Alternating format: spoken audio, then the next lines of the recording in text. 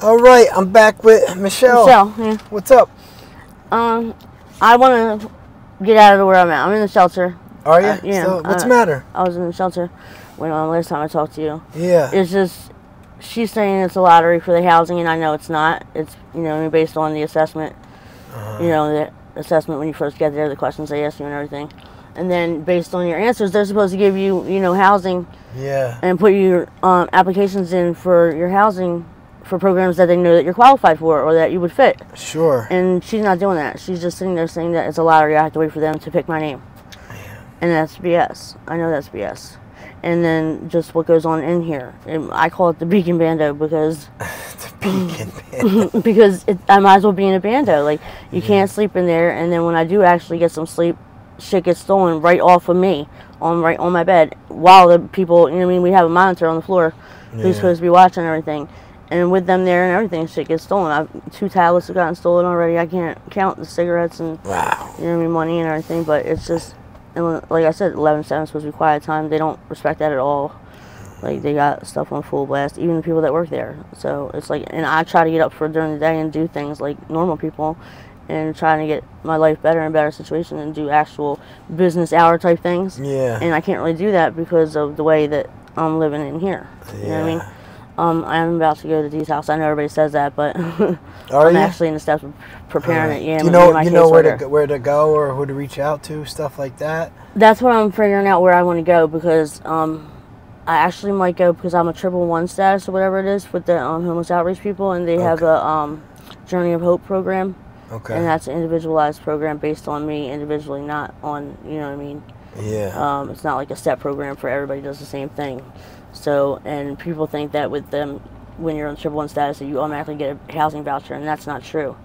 Uh-huh. Um, that you know, that's based on the accomplishments that you're making, where you're at in your, you know. okay, program. so they will like it's kind of like a personalized Personal, yeah. where they would send you or whatever. Right, right. When I, and I oh. told her that I want to go to a detox. Like I'm not going to do the rehab, and I'm not doing the NAs and AAs because that's just not me. That's not how I'm going to recover. That's not my way because I've tried that and that's just not for me. I can't do the stories and Yeah, I did the. I, I didn't do the AA. I, I had to go to the rehab. I just to you know get through it, and then I. The reason I went that way is because I wanted to go to recovery house in Bucks County. I wanted to get the hell out of Philly. yeah. Well, I, I don't want to do a recovery house or nothing. I want my own spot. I need to be in my own space, and Yeah. I, I want to go to school for CDL and um, drive a truck and get out of here. I'm just gonna drive across the states. I'm gonna do long hauls.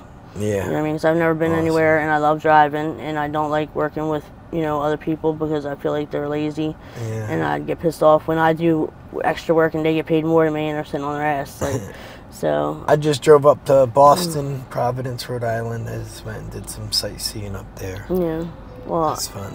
I never, I never been anywhere. Like I said, I've only been in the tri-state area: New York, New Jersey, Pennsylvania, Delaware, Maryland. So. Oh, okay. Never been on a plane, never been, you know, to a concert. There's so much that I yeah, man. done. Get sober. Go enjoy life, and man. I can't keep a phone here, so like, and I want to get detox because, and I found out that this shelter Mhm. is their goal is to put us into treatment, not housing. It's changed now.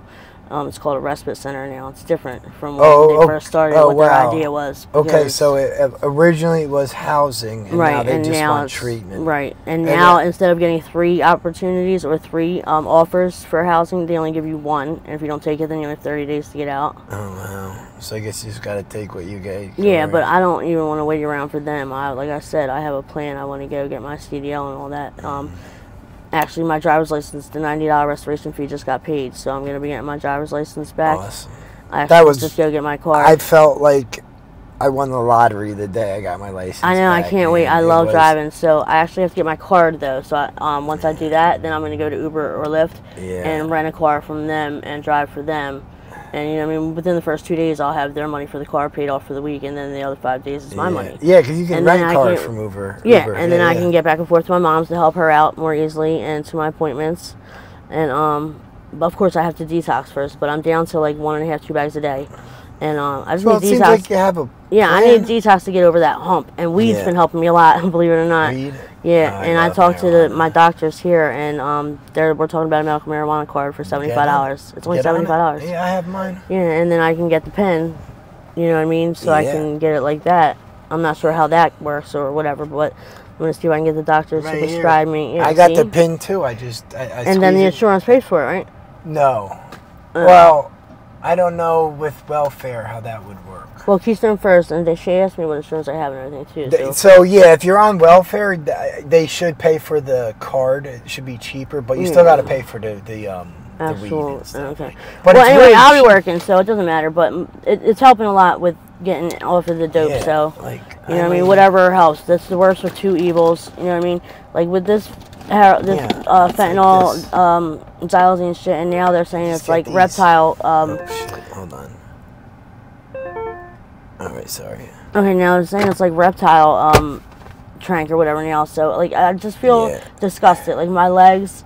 I I'm, I like wearing dresses and stuff, and my legs are are destroyed. Like I have so many scars, but um, I feel like now like I don't want to be ashamed of them. I want to show them off as you know like my war marks, like what I've been Yeah. through. But I mean, like they're healing scars, nice. Yeah, they're not, like- there's a whole lot of scars. Like, Yeah. but I'm one who wears. I've seen a lot worse though. Right. Well, I mean, there's serums and stuff I can use, but like yeah, the way that they were, and if I stay on it, I'm gonna die. Like, and I keep telling everybody, they think it's gonna pass by. That mayor's not playing. The open air drug market in Philadelphia is done. yeah. And you think it's done? it's Y- done. Is it? It's over. It's a wrap. I mean, that's not to say that there's not gonna be drugs in Philadelphia. There is, but and then they did a count for how many people were out in the streets still.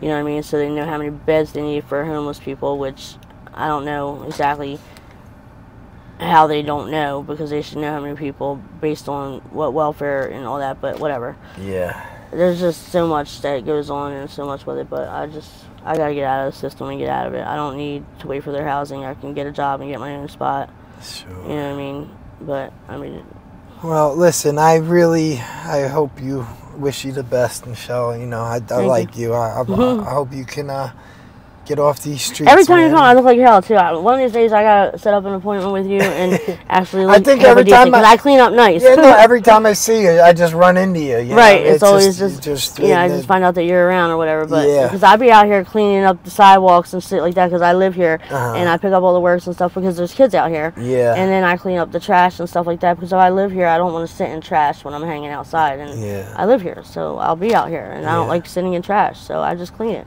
Yeah, So it's funny. You do see a lot of people cleaning the street, but uh, no one wants to live in filth. Not a lot of Mm. people do. Some people do, but you know. Well, also because I get tired of people looking at me like and treating me based on how the other people are. Like, yeah, I get high, but I don't do it like them. And not to say that I'm better than them because they do certain things on the street, but I'm better than them. Yeah. Cool. All right. Well, Michelle, I appreciate People you doing take it this how they want, again. but- we will. Uh, hopefully, I'll see you again in the future, and you'll be sober, and then we can do it better. And Yeah, well, I'm not gonna be sober. I'm gonna smoke weed. Well, yeah. we'll, we'll smoke a blunt together and do the interview. All right, bet. All right. I'll talk to you later. All right.